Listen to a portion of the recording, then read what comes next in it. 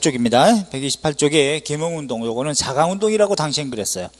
온건하게 실력을 길러서 나중에 장기적으로 힘이 모이면 그때 뭐 민족 회복 운동, 독립을 하자 뭐 이런 개념이 이제 계몽 운동인데 계몽 운동의 주체는 항상 지식인 중심이죠. 그래서 이제 지식인 중심으로 여기 한계는 뭐냐면 사회 진화론의 영향을 받았다는 거. 이건 한계가 되는 것이고 자, 구체적으로 정치적 결사 운동이 있습니다. 어, 결사라는 거 어떤 단체를 조직한다는 걸 결사라 그래요. 자, 그럼 정치적 단체 중에서 보안회, 음, 요거는 황무지 개강권 반대 투쟁에서 성공시킨 단체. 요거 포인트, 어, 활동 내용에 농광회사와 더불어서 농광회사도 함께 했었습니다. 그러나 성공을 시켰지만 어, 해산당했다. 탄압으로. 그래놓고 보안회를 밑으로 화살표 하세요. 헌정연구회가 됩니다. 윤효정, 이준 이런 분들이 중심인데 입헌군주제를 주장하는 정치단체 이게 헌정연구회 그래서 헌정연구회도 해산당하고 이게 1906년도에 대한자강회가 됩니다. 그래서 밑으로도 화살표 하셔야지 대한자강 이건 별표 대한자강회 장지연, 윤효정 요 둘만 좀 알아두시고 헌정연구회 후신으로서 고종강제 퇴위 반대 운동 활동 내용 음, 그 다음에 국채보상 운동 또 일진회 규탄 요거 다. 대한 자강회에서 한 일. 고종강퇴 반대 운동 하다가 해산당합니다. 대한 자강회 월보도 가능하게 됐죠? 오른쪽에 보이잖아요? 대한 자강회 보 월보 이렇게 돼 있으니까 한반도 지도 모양으로 해가지고 아 국제보상운동도 하고 그 다음에 고종강퇴 1907년이니까 아, 반대운동 요거 대한자강회. 그래놓고 대한자강회도 나중에 밑으로 화살표 대한협회가 되는데 대한협회는 크게 신경 안 쓰셔도 됩니다. 왜냐하면 친일적인 색채를 띠기도 했기 때문에 나중에. 그래서 대한자강회까지만 의미가 있어요. 그 다음 맨 아래 신민회 있습니다. 대한신민회를 줄여서 신민회라고 하는데 어, 별표 3개. 가장 중요한 단체는 요 신민회입니다 안창호, 양기탁, 이동휘, 전덕기 뭐 이런 분들 당시에 우리 민족운동 하시는 진영에서 신민회 회원의 이름을 올리지 않은 사람은 없을 정도로 굉장히 많은 분들은 다 신민회 회원입니다. 물론 국내에 있다가 투옥되신 분도 있지만 국외로 가신 뭐, 뭐 어, 김구 선생이라든가 나 신채호 선생이라든가 모두 다 아, 신민회 회원이었어요. 대한매일신보가 가장 그 당시는 중요한 신문이었기 때문에 이걸 기관지로 삼았다는 거 체크하시고 그래서 음, 최초의 비, 최초의 민주공화 정체를 지향했고 비밀 결사인데 신민회하고 신간회하고 구분하셔야 됩니다. 신민회는 1907년부터 1911년에 백오인 사건으로 어, 해산당할 때까지 그 다음에 신간회라고 하는 단체는 일제강점기에 1927년부터 1931년도에 민족 단일당 운동에 의해서 만들어진 최대 규모의 그 당시의 정치 사회 단체가 신간회입니다. 이거는 비밀 조직인데 비해서 이거는 공개된 단체예요. 어, 공개 단체 가 돼서 어, 좀 다릅니다. 그러나 둘 다 중요해요. 어, 신민회하고 신간회. 신채호 선생은 요 신민회, 신간회 모두 이름 올리신 분이 신채호 선생이기도 하고 그래서 신민회는 1907년부터 1909년도에 쪽발이의 남한 대토골 작전으로 의병 운동이 아주 어, 고난을 겪을 때까지는 국내에서 민족 실력 양성 운동 차원에서 태극서관 자기회사 같은 거 운영해서 군자금 모금하고 민족 교육을 통해서 예컨대 평양의 대성학교 또 정주의 오산학교 같은 거 세워가지고 민족 교육에 힘썼던 단체가 신민회입니다. 또 우리나라 역사상 최초의 공화 정체를 주장했던 단체이기 때문에 왕정을 포기하는 폐지하고 이제 민주 공화정 형태의 최초의 주장 이게 바로 신민회라고 하는 단체니까 아주 중요해 알았죠? 자 그래서 넘겨보시면 신민회에 이어진 내용이 나오죠 무려 800여 명의 회원을 가지고 있었습니다 그런데 1910년도에 안중근 의사의 이 사촌 동생이었던 안명근 의사가 중국으로 망명가 있었는데 그런데 몰래 들어와서 군자금 모금하다 걸려요. 걸리는데 조선 총독 데라우찌가 뭐라고 하냐면 안중근 의사 사촌 동생 안명근이 군자금 모금뿐만 아니라 조선 총독 데라우찌를 암살할 모의가 있었다. 이렇게 누명을 씌워가지고 황해도 지역의 기독교 계열 인사들 배일적인 인사들을 탄압하고 더 확대시켜가지고 그렇게 총독 암살 음모가 있다 해가지고 무려 600여 명의 회원 민족주의자들을 다 연행을 하는데 그 중에 백오인을 특별, 특별한 죄목도 없이 깜빵에 다 집어넣었어요. 그래서 백오인 사건이라고 하는데 그래서 신민의 다 회원이었기 때문에 자동으로 해산당하는 그런 문제가 노정됐던 게 바로 백오인 사건입니다. 1911년도에. 자, 그래서 활동 내용 알아야죠. 성격, 응? 국권 회복은 당연하고 공화 정체를 최초로 주장했던 비밀 결사였다. 그래서 민족 교육을 육성하기 위해서 대성학교 오산학교, 평양의 대성학교, 또 평안북도 정주의 이승훈 선생이 오산학교, 그 다음에 보창학교, 오, 이동희 선생이 강화도에 세웠던 민족 근대학교입니다. 보창학교 이런 것들을 세워가지고 민족 교육에 육성하고 또 민족 산업을 육성한다는 차원에서 대구의 태극서관 이건 뭐 출판사입니다. 평양에다가 도자기회사 뭐 줄여서 자기회사라 그래요. 이렇게 음, 운영하고 그 다음에 대한매일신보가 기관지 역할을 했다는 거 이렇게만 좀 알아두시고 그 다음에 1909년도는 남한 대토벌 작전으로 국내에서 활동하기 어렵기 때문에 다 국외로 좀 망명 가가지고 특히 신민의 회원들이 국외로 가서 거점을 잡았던 데가 남만주, 서간도, 삼원보라고 하는 곳에 거점을 잡아요. 삼원보를 거점을 잡습니다. 그럼 이제 어디냐? 남만주, 서간도면은 백리 마운튼 여기가 서간도거든요. 어, 서간도 여기가 북간도인데 동북간도 줄여서 요 지역의 서간도 삼원보라고 하는 곳에 삼원보 여기에 음, 거점을 잡고 삼원보에서 만들어진 최초의 독립운동 단체 예, 서간도에 이게 바로 경학사입니다. 요 경학사가 나중에 음, 한족회가 돼요. 19년 여기 서로 군정서가 됩니다. 서로 군정서 19년에 서로는 서간도 방면의 군사 정치적인 조직을 갖춘 서 무슨 무슨 관청서 기구라는 뜻인데 임시정부가 19년에 만들어지죠. 그 직후에 산하 단체라는 뜻으로 북로군정서는 북간도 방면의 이런 뜻이고 그 다음에 여기에 신흥 강습소가 세워지는데 학교입니다. 신흥 강습소. 원래 신흥 학교라고도 그래요. 어, 뭐 신흥 학교. 다 1911년. 그래 놓고 여기 1913년에 신흥 중학교가 됩니다. 신흥 중학교.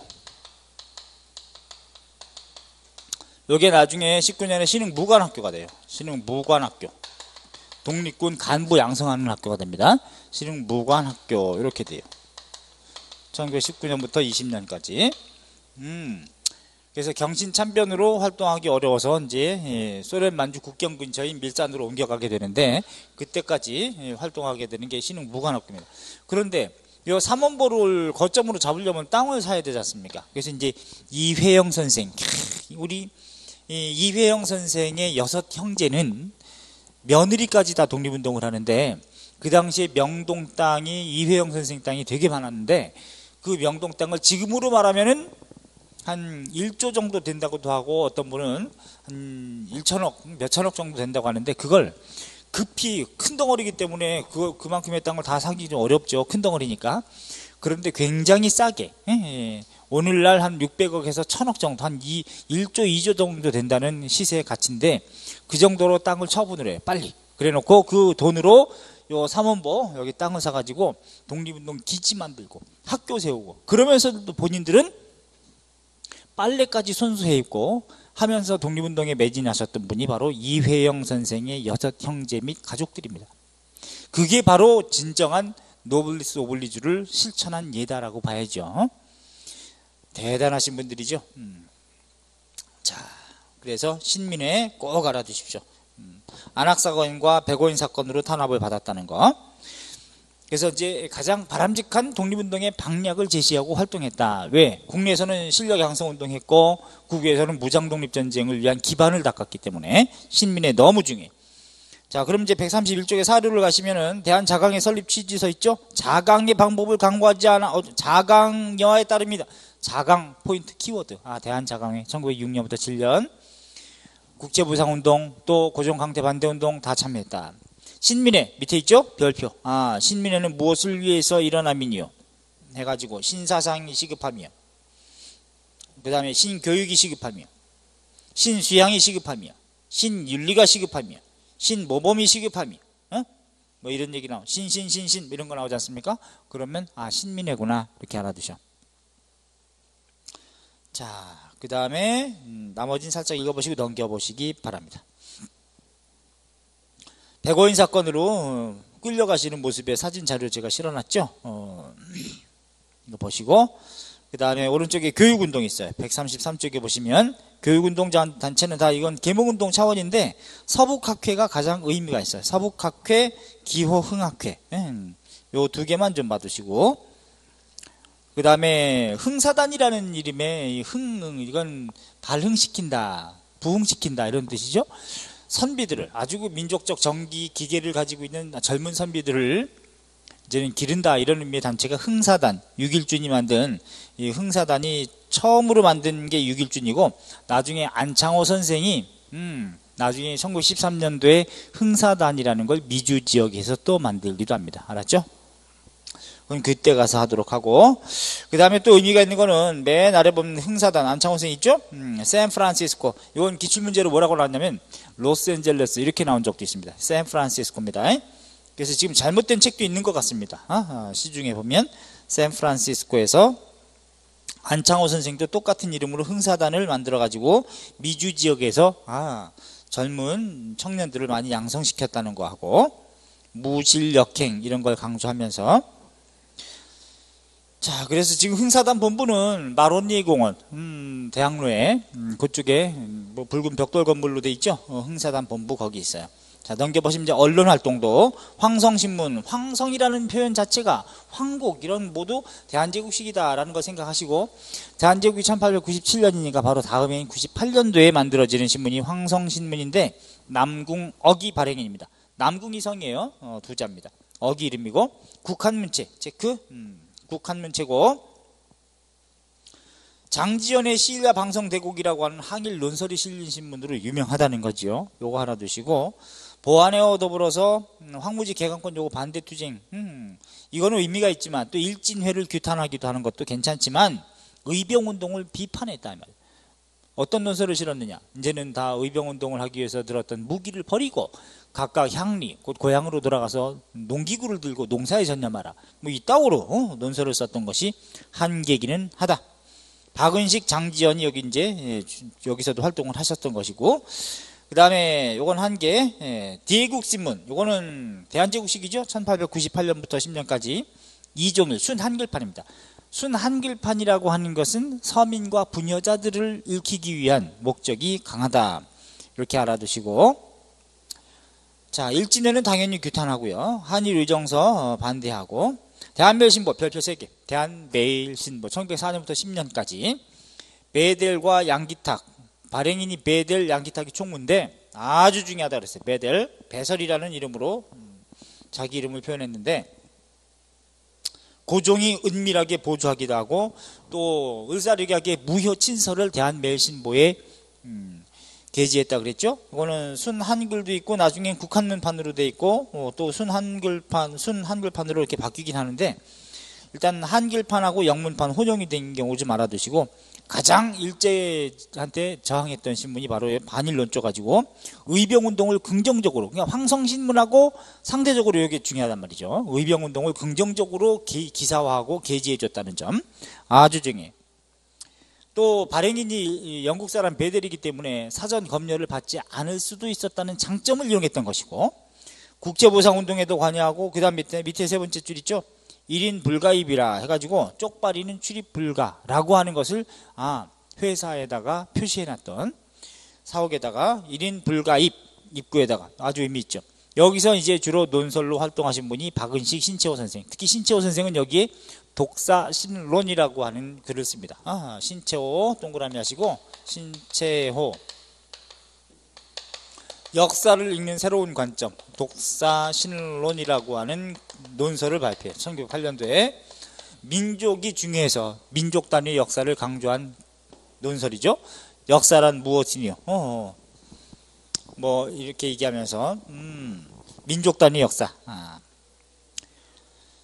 자, 그 다음에 국민신보는 요건 통과하시고 만세보 요거는 천도교 동그라미 천도교 계열의 기관지입니다. 동학이 1905년도에 명칭이 바뀐 게 천도교죠. 그리고 1906년도에 이 천도교계 기관지로서 발행됐던 것이 만세보라고 하는 이름의 신문인데 손병희 선생이 이제 동학의 3대 교주가 되는 것이고 당연히 일진회를 규탄하는, 규탄하는 것인데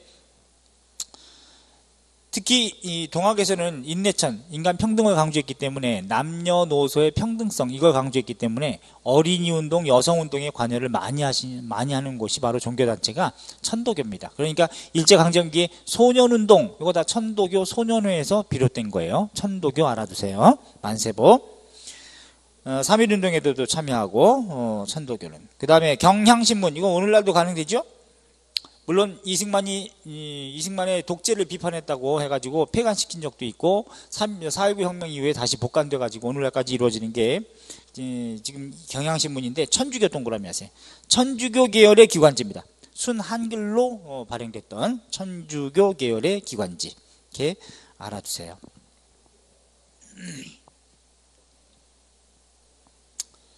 자 그리고 어, 넘겨보시면 식민지화의 위기와 민족적 저항이라고 또 하나 이렇게 136쪽에 예, 음, 제가 체크해 놓은 게 있습니다. 아, 여기 보시면 한일 의정서부터 우리 이미 순서대로 배웠죠. 한일 의정서, 또 제1차 한일 협약, 그러고 나서 대외적으로 가쓰라, 태프트 밀약, 제2차 영일 동맹, 포츠머스 조약, 그리고 을사늑약, 그리고 헤이그 특사 파견 1907년 6월 7월 달에 세 가지 사건 뭐 있어요? 고종 강퇴, 한일 신협약, 군대 해산 1908년 동척, 동양척식 주식회사 들어오고 1909년 기유각서로 사법권, 감옥사법권 다 뺏기고 1910년 6월 경찰권 뺏기고 그 다음에 8월 음, 국권 뺏기고 이런 과정에서 음, 한일 의정서에 대한 직접적인 배경 뭐 반대 반대 음, 개몽운동 차원에서 제국신문에서는 한일 의정서를 반대하는 논설을 싣고 황성신문도 한일의정서를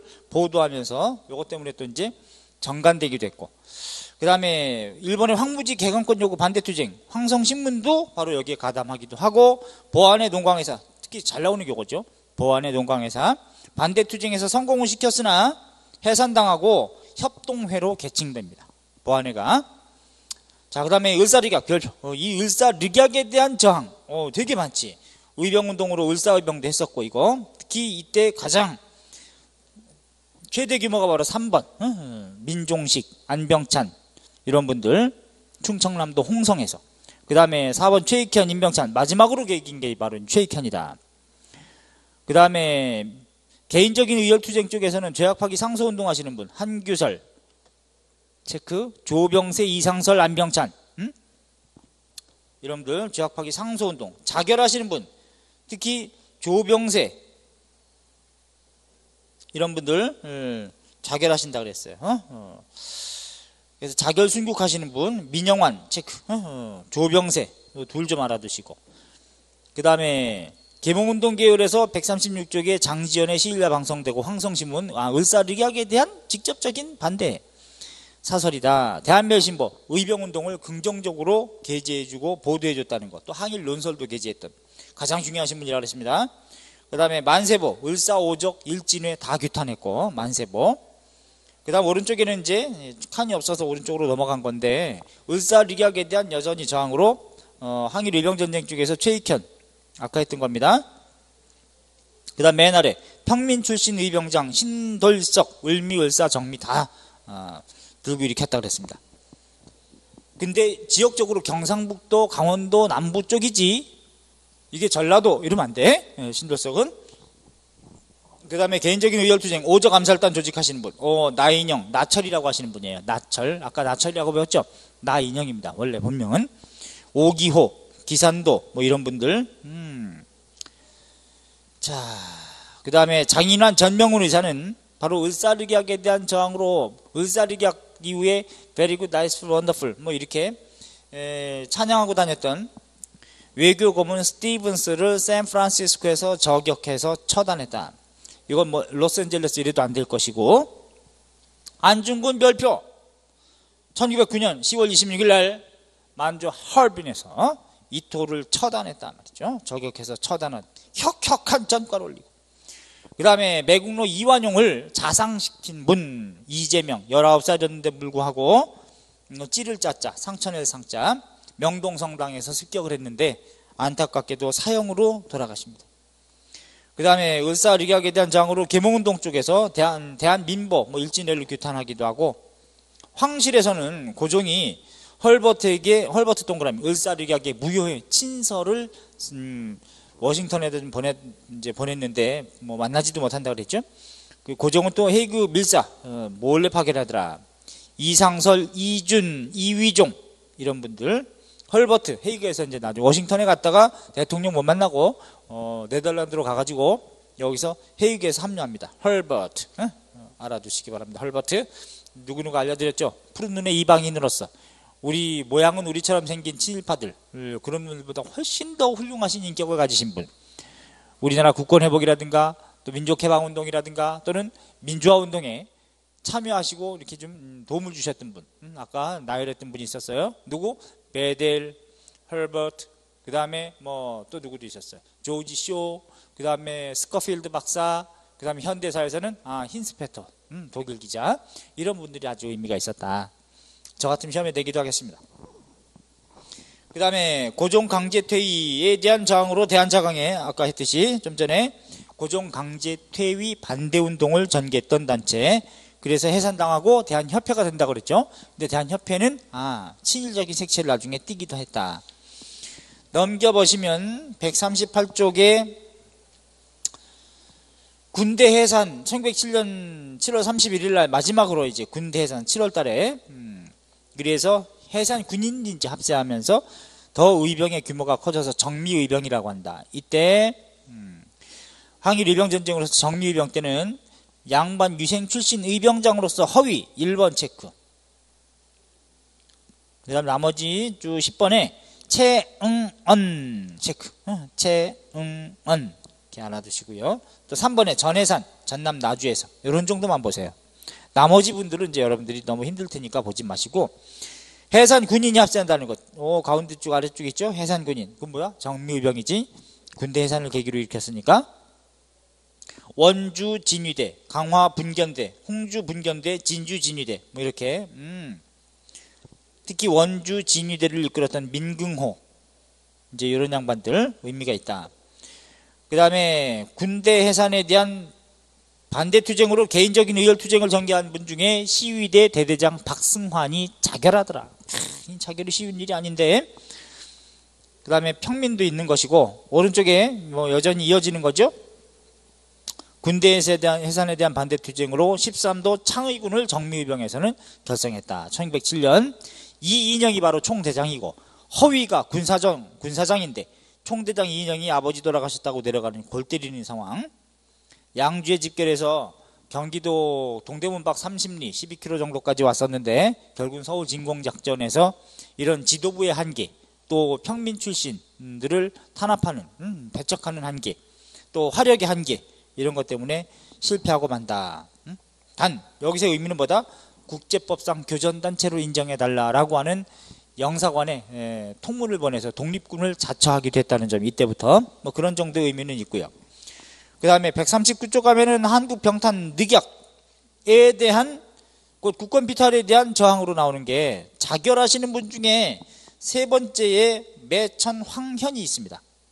이 황현은 나는 이 사람 아주 뭐 별로 좋아하진 않는데 이 양반을 1894년 농민전쟁이 터졌을 때는 굉장히 농민들 한 뭐 몇만 명이 없어도 어, 군주권만 강하면 된다라고 해서 농민들을 아주 역적으로 몰았던 사람이 매천 황현이에요.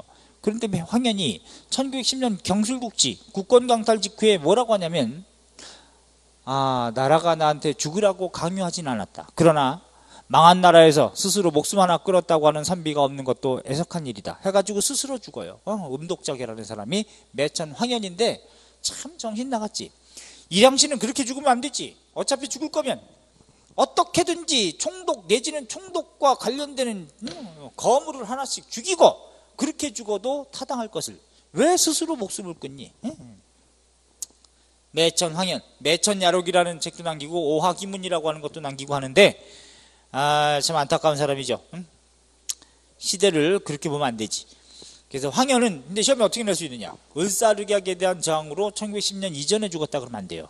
이거는 경술국치, 예, 국권 강탈 때문에 음독자결하는 사람이 황현이라는 걸 알아야 돼. 그래서 요거는 연도 때문에 좀 중요합니다.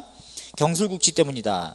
이렇게 알아두시고 나머지 분들도 자결했다는 건 대단한 의로운 음, 의, 기운인데 이걸 다 어, 제가 이런 분들은 의미가 있어서 넣어놓은 것이지 시험에는 음, 나온 적은 없어요 별로. 그러니까 매천 황현만 좀 알아두시기 바랍니다. 아셨죠? 이런 분들 좀 의미는 있으되 자결했다고 하는 거는 음, 자. 그러면 우리 이제 139쪽까지 1870년 개항 언저리 그 이전에 흥선대원군 이전에 19세기 전반의 세도 정치 시기의 내후 외환 그 다음에 세도 정치를 척결하고 흥선대원군이 한 일은 좋았지만 그러나 대외적으로 어떤 일? 통상수교 거부 정책에 의한 한계 이것 때문에 결국은 1873년 고종이 친정체제가 되는 가운데 흥선대원군은 이제 예, 물러나고 그리고 나서 운효 사건 75년 그리고 76년에 강화도 조약이라고 하는 조일 수호조교 그 불평등 조약 체제 쭉 훑어봤고 그거 이후부터 쭉 사건별로 뭐 굵직굵직하게 강화도 조약 이모군봉 그 다음에 갑신정변 검은도 사건 방공령 사건 그리고 이제 이 교조 동학의 교조 신혼운동 그리고 1894년 농민전쟁 대내적으로 가보기역이라면 대외적으로 어, 청일전쟁. 청일전쟁에서 일본 놈이 이겼기 때문에 시모노세키 지역을 맺고 그 다음에 그 이후에 반작용으로 삼국 간섭. 그런 다음에 어 을미사변 터지고. 을미사변 터져서 얼로 튀어 러시아 공사관으로 튀었다. 아관파천.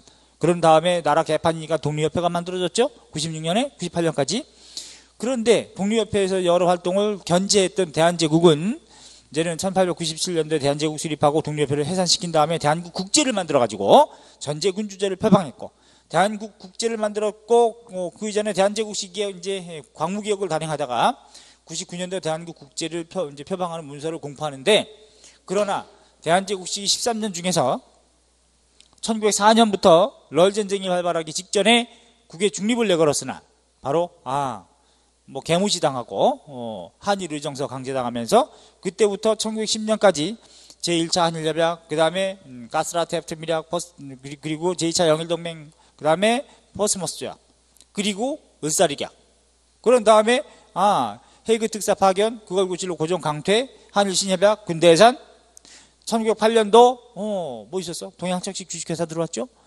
뺏은 토지 관리하고 있었고 식민지 지주회사로. 1909년 기유각서 사법권 감옥 사무권 뺏겼지. 1910년 6월 경찰권 뺏겼지. 그리고 1910년 8월 국권 뺏겼지. 예, 예. 그로부터 이제 1910년부터 45년까지 만 35년간 식민지 지배 시기가 되는 거지. 일제 강점기라고 그래야지. 일제 시기라고 해야지. 일제 강점기. 일제 시대라는 말은 절대로 써서는 안 되는 거야. 정말 무지의 소치죠. 그 시기에 일본 애들이 통치하는 시기가 특정한 시대가 되진 않는단 말이에요. 어, 한국사와 시대라고 하는 것은 객관적으로 흘러가는 자연스럽게 흘러가는 절대 시간이라고 하는 시간 속에서 세계사의 보편성과 한국사의 특질이 겹쳐지는 특정한 시기를 시대라고 하는 거예요. 그래서 아 원시사회, 그 다음에 고대사회, 중세사회, 근대사회, 현대사회 이건 시대지만 그 안에 그 시대에 어떤 내용으로 채워졌느냐. 이게 특질이 되는 거지. 시대의 특질.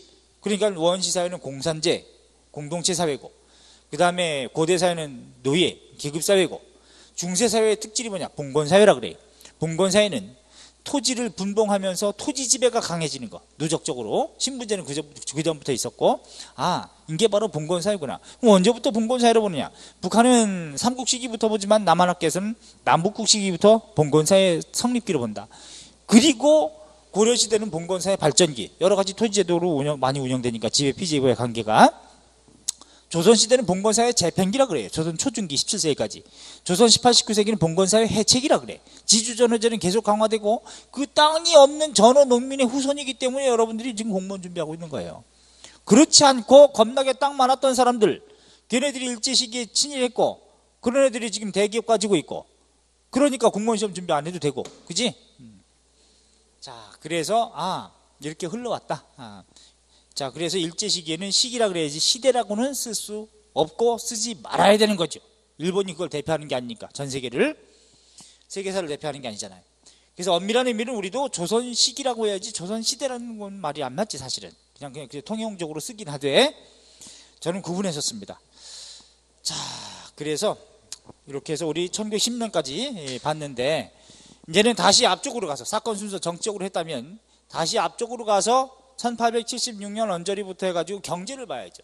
사회는 사실은 따로 볼 건 없어요. 사회는 왜냐하면 갑신정변 정강 14조 농민전쟁 폐정개혁안 가보개혁 1차, 2차, 3차 개혁의 특징 그 다음에 독립협회 헌의 6조 대한제국 시기에 뭐 근데 활빈당 대한 삼민론설 13조 대한제국 시기에 대한국 국제 이미 다 봤거든요. 그걸 비교하는 것 이게 시험 문제거든. 어, 근데 이미 우리가 박스로 다 했었잖아. 비교를 하니까 사실은 사회는 근대 사회는 어떻게 하면 평등 사회로 나가는데 그걸 뒷받침할 것이냐. 평등 사회가 신장되는 모습, 확대되는 모습이 근대 사회의 특징이거든요. 근데 그걸 이제 비교하란 말이죠. 자, 했기 때문에 이제는 경제 파트가 중요하다. 그래서 140쪽, 141쪽. 요거는 사실은 경제 파트, 사회 파트를 또 문학까지 이렇게 한번 넣어 놓은 건데 요걸 한번 쭉 읽어보세요. 어, 읽어보시고 흐름 잡기 아주 좋으니까 그럼 좀 쉬었다가 우리 다음 시간에 142쪽에 제가 이거 구조화 시킬 겁니다. 연도 없이 좀 중요한 연도를 끊어가지고 구조화 시켜서 어, 왜?